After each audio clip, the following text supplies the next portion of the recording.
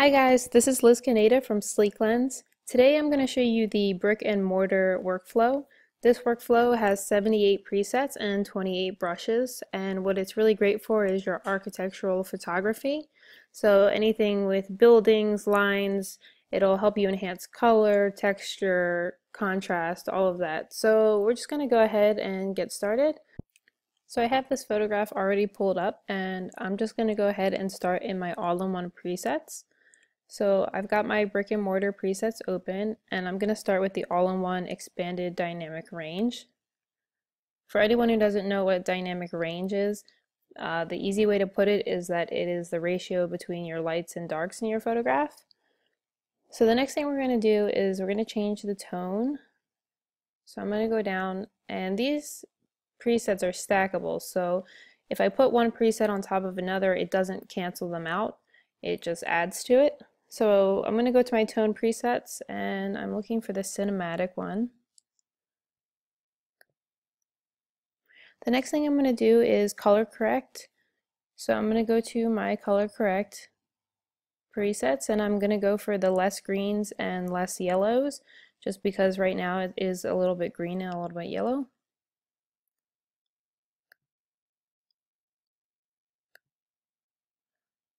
So we've balanced it out a little bit color and tone wise. The next thing I'm going to do is brighten the shadows so I can really bring some light back into the photograph. So I'm going to go into my exposure, brighten shadows.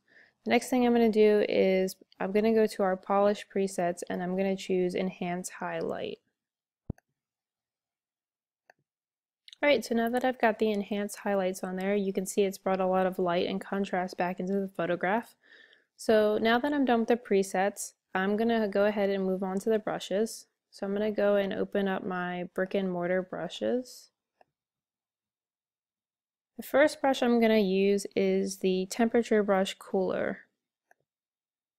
And I'm going to use this brush to kind of add cooler tones into the photograph in certain areas. So the first part I'm going to start with is the train. And I'm just going to go ahead and run this along the windows here. And down here.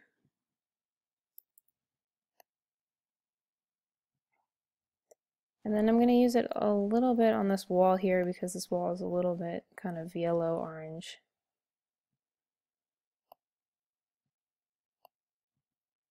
orange. Alright, so if you put your mouse or your little hand over here, you can see all the areas that I've highlighted with the brush. So the next thing I'm going to do is um, I'm going to just turn the temperature down a little bit more so everything is just a little bit cooler. So now that I've used the temperature cooler brush, I'm going to hit new and I'm going to start with a different brush. So I'm going to go to my polish brushes and I'm going to go for the cool haze and I'm going to use this brush a little bit in the same areas. This brush is basically going to give me a nice blue color all along the photograph.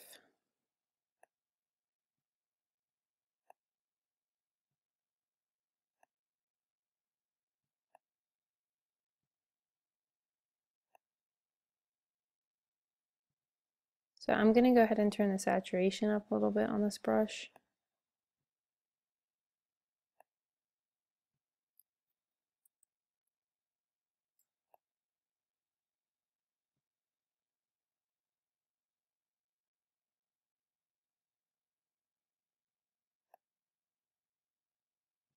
Alright, the next brush I'm going to use is my Exposure Darken brush.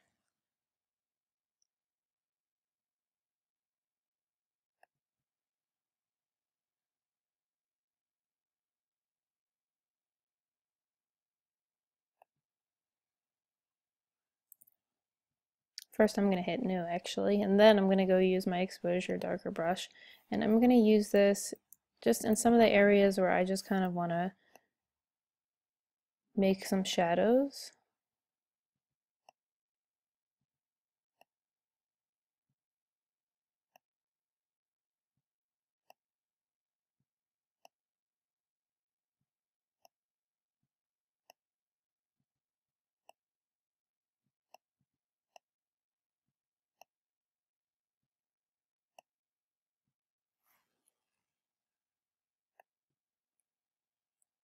Alright, so the last brush I'm going to do is I'm first I'm going to hit new and then I'm going to go to my enhance brushes and I'm going to choose the city lights and I'm going to use that in all the areas that I want to add a whole lot of light to.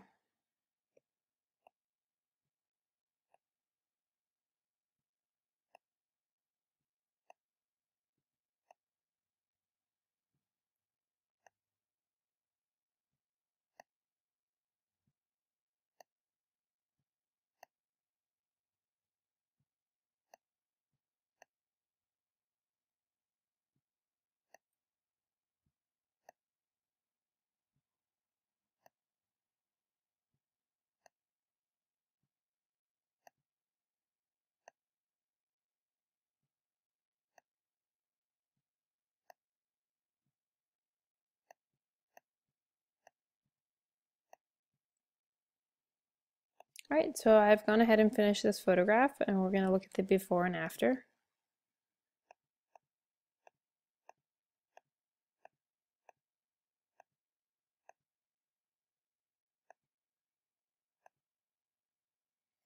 Okay, so as you can see, we've added a whole lot of light back into the photograph. We've added color and detail back into the train, added a lot of light coming from the tunnel and up towards the steps, and just overall enhanced and polished the photograph. So I'm going to go ahead and move on to another photograph now. Alright, so now I have this really nice picture of the Scott Monument in Edinburgh, Scotland. And I've actually seen this monument in person, and one of the great things about it is all the detail in the architecture. So what we're going to do is we're going to go ahead and pull some of that detail out. So first I'm going to start with my presets, and I'm going to go to my base presets. And for this one, I'm going to use the Good Start for Cityscapes.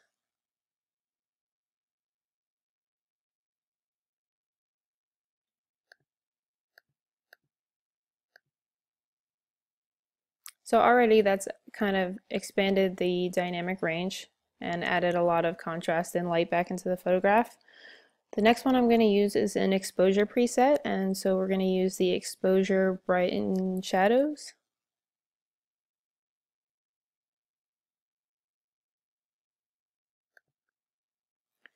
Now I'm going to use a polish preset and I'm going to go for the make it pop.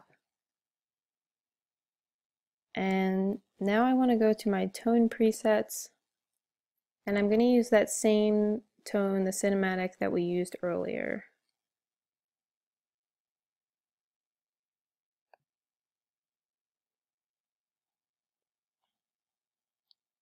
And I'm going to use one more tone preset and I'm going to go for the color explosion. Alright, so here's a before and after. You can already see the difference and all I've done is stacked five presets on top of each other. Took me a couple of seconds. It's a really quick edit. But what I'm going to do now is I'm going to use the brushes to really enhance the photograph. So the first brush I'm going to use is an enhanced details brush.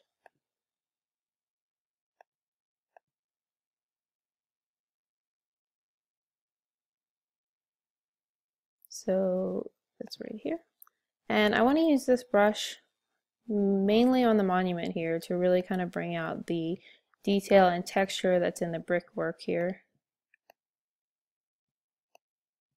I'm going to use it along these steps and the railings as well.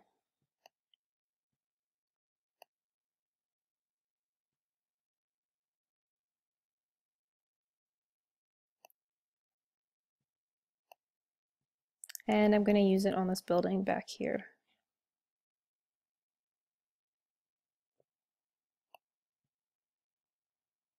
The next brush I'm going to use is a color brush.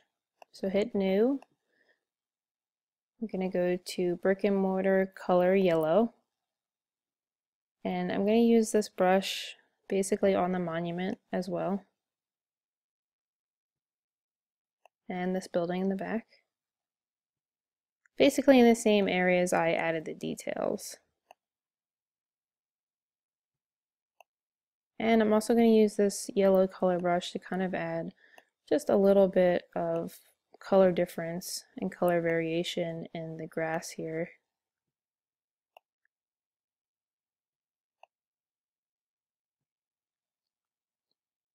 I'm going to use another color brush now. First I have to hit new and I'm going to go for saturation and I'm just going to use this in areas where I feel like there needs to be more saturation. So right up on the step. I'm going to put some more in the monument, down here in the grass. Alright, the next brush I'm going to use is an Enhance Window Reflection brush. So I'm going to go ahead and hit new and then I'm going to go into my enhance brushes and go for the window reflections. And I've made my brush really small but I'm going to go ahead and use the this brush to kind of really bring out the little details in these windows. And what this brush is doing is basically just really bringing out the highlights and the shadows as well.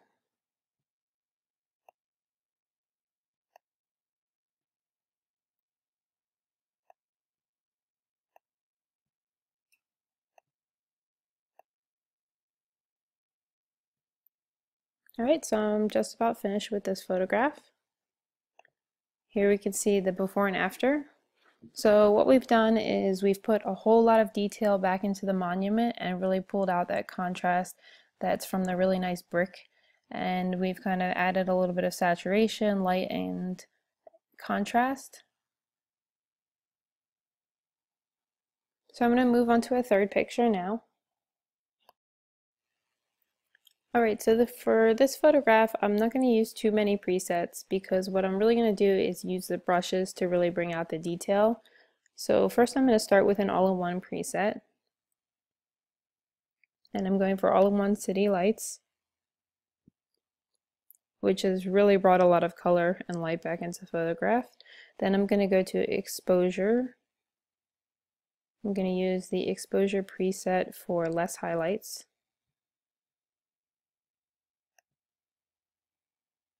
And then I'm going to go ahead and use a tone preset. I'm going to go for the tone warmer.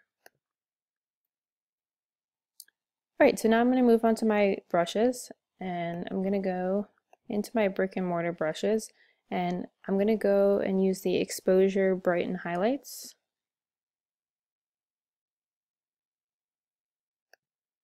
And I'm going to go ahead and use this brush wherever I think I need to really add some light. So definitely in these buildings back here.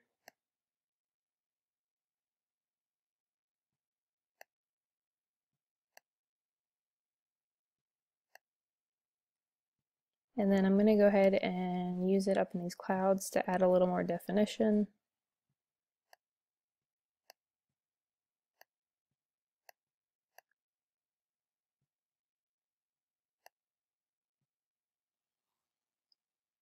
Now I'm going to do the opposite and I'm going to use the in the exposure darken highlights brush.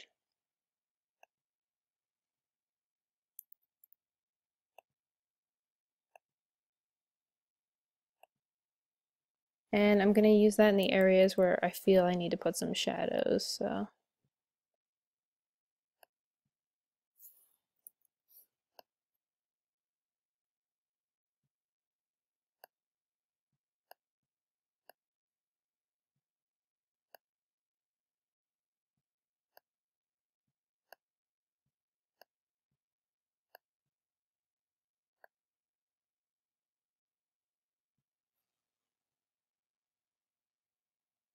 So to further enhance the clouds, I'm going to use the Enhance brush, and it's going to say Enhance Clouds. Make sure you hit New first. Sometimes I forget to hit New in between. So New, Enhance Clouds. This is just going to bring contrast and clarity back into the clouds. It did kind of darken them up a little bit, so I am going to just pull the exposure up and adjust it a little bit and pull the contrast down just a tiny bit. and move the highlights back up a little bit. I'm going to go back to my enhance brushes, brushes. So first I'm going to hit new, enhance brushes, and I'm going to go to the enhance details. And I'm going to use this brush on the buildings so I can really enhance the details of the architecture.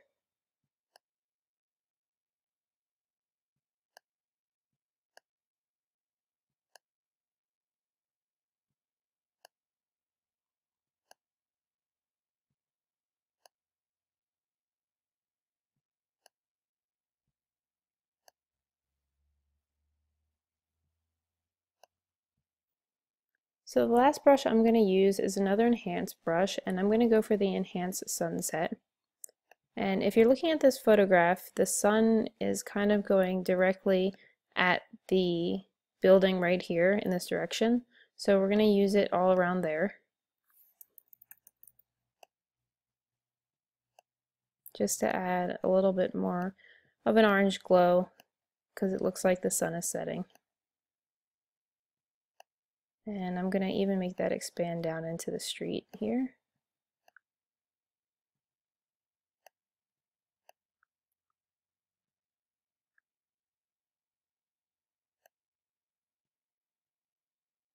Alright, so I'm done with this photograph.